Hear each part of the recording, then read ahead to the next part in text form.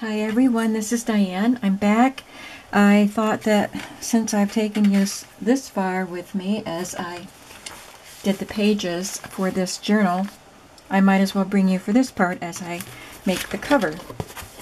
This is the cover I'm using. I've already taken um, a baby wipe and wiped it off to get the surface dirt off it, but you can tell it's a vintage book. But the spine is in good shape. So I am leaving the spine.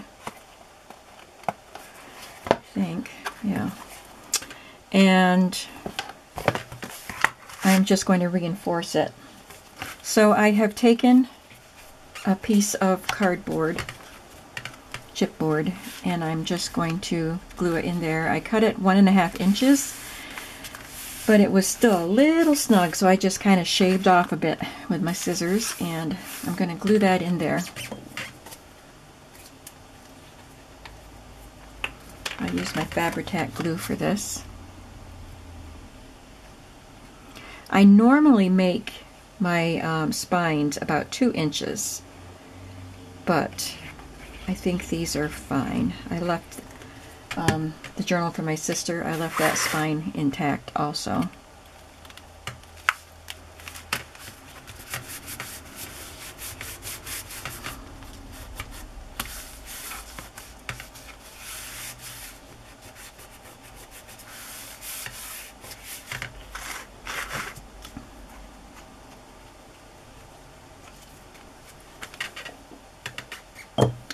And now I'm going to just give it a little extra reinforcement by cutting some Tyvek.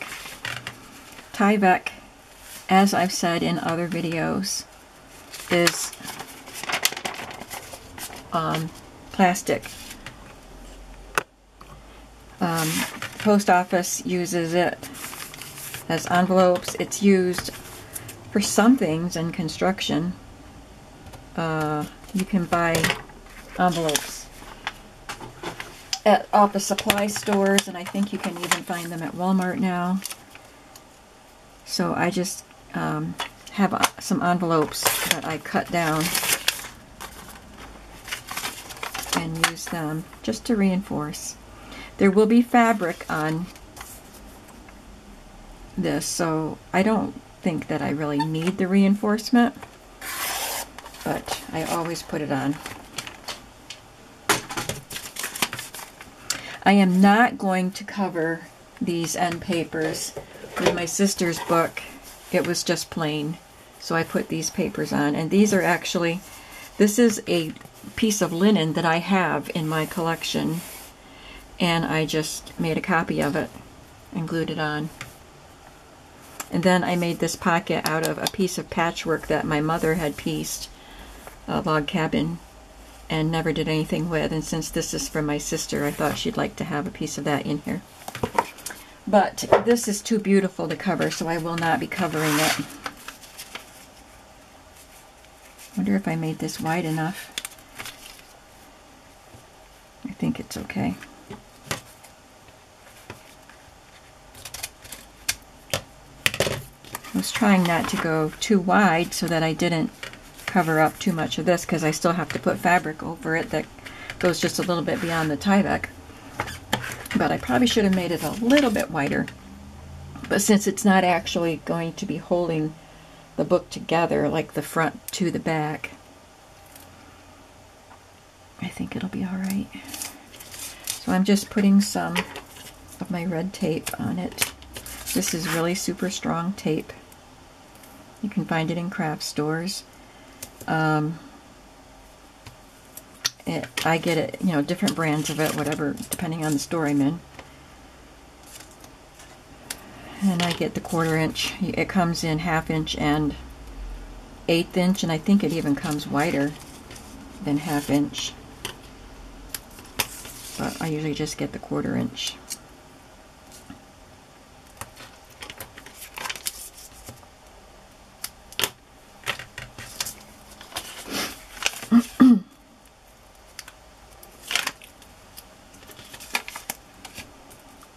Started raining middle afternoon. So Rainy days always make me.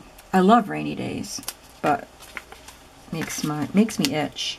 I think it, you know, especially like during a holiday, during a, not holiday, during a pollen season, allergy season, like spring. I think it brings the pollen down, like keeps the pollen from floating up. I don't know. I would have thought that rainy days would help with pollen, but it doesn't. It makes it worse. So you can see that there. So I'm a little bit itchy. And I cut this piece of fabric to cover that. And then to cover the raw edges, I will glue a little bit of um, some trim.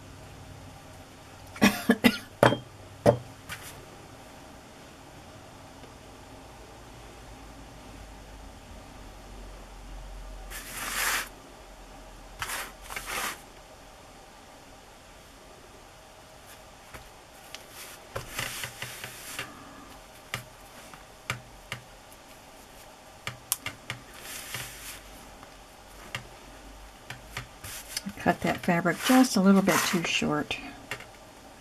I'm going to have to put something at the top and the bottom there too.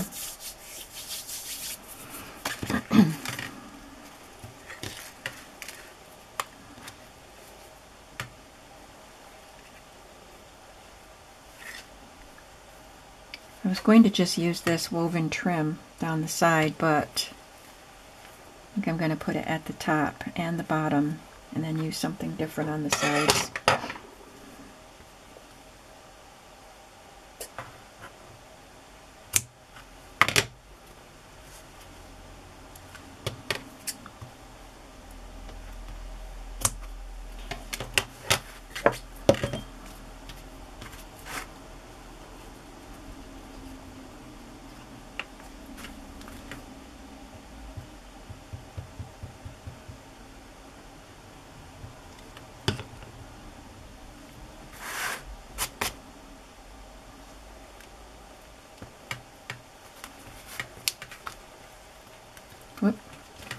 Thought I was pulling a thread, but it's going to unravel the whole thing. Make sure that gets glued down so it doesn't unravel.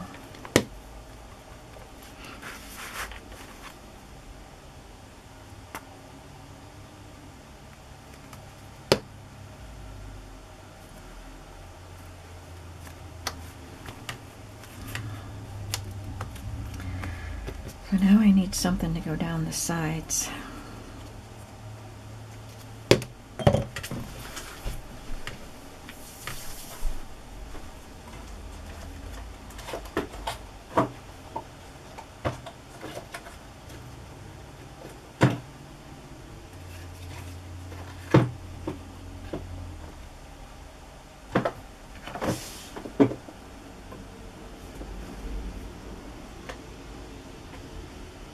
Hmm.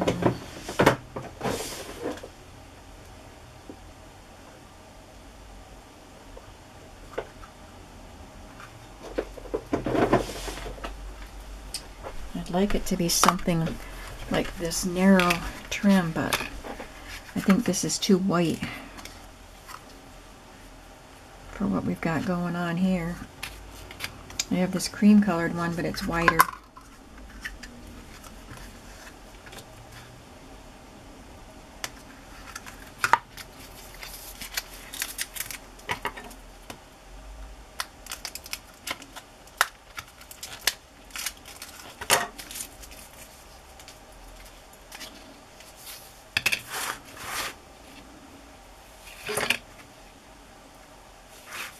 Looks okay.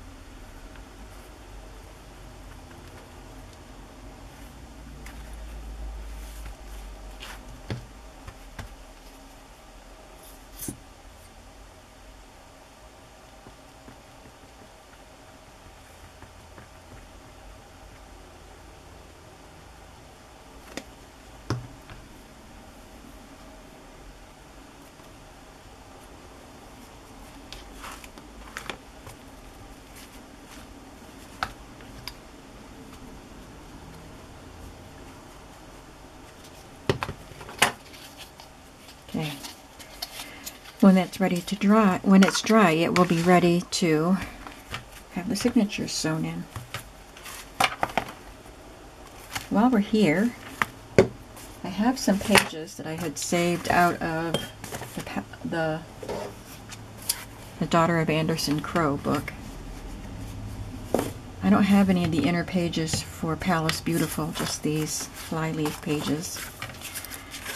But there was at least one that I thought I might be able to make something with to put in the book. That's what I do with it. Well, there's that. There's a color illustration. I think there was another one. But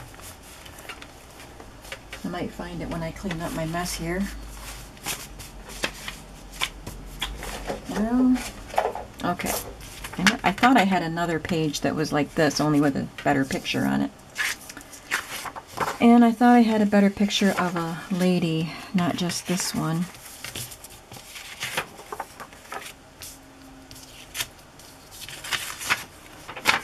Well, see what I can do with this.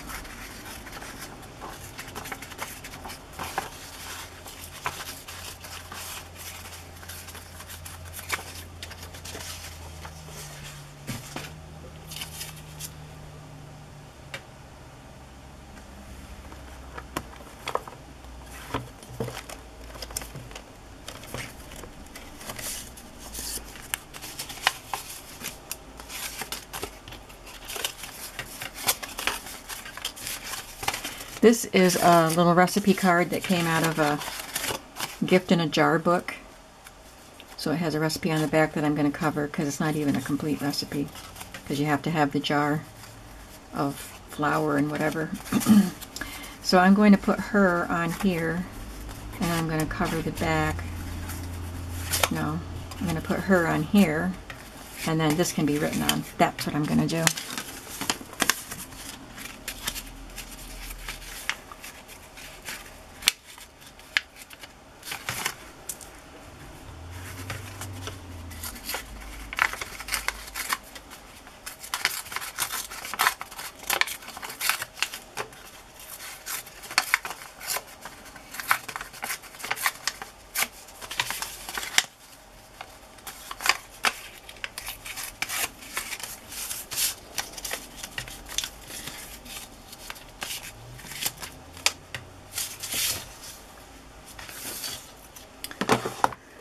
And I can use one of the flowers from the kit.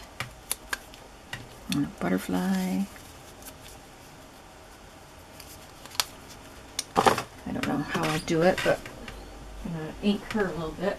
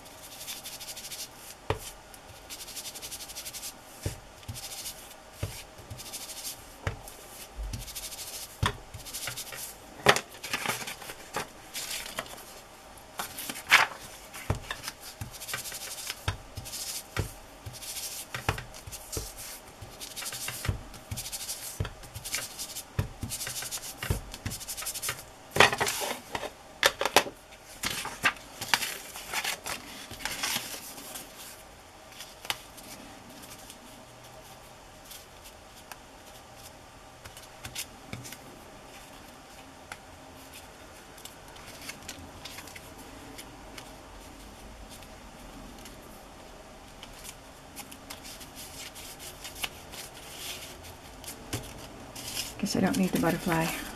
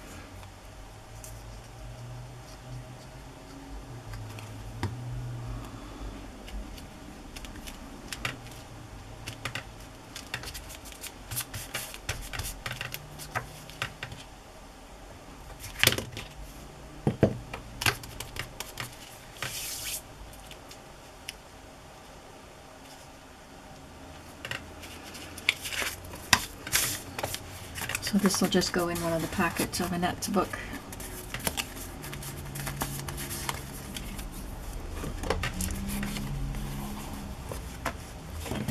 Well now, I'm going to clean up my space. Friday afternoon, I'm cleaning up my space. I like that. I don't have to do it on the weekend.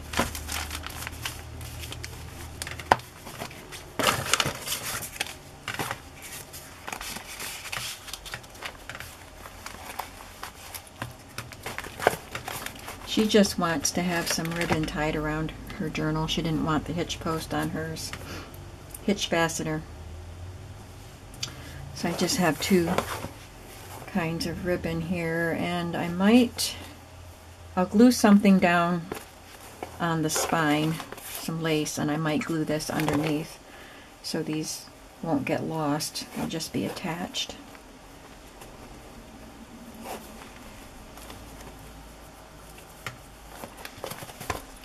That's how it will look. You'll have some lace here and, oh, sorry, you'll have lace down here of some sort. We had planned on putting this down the spine,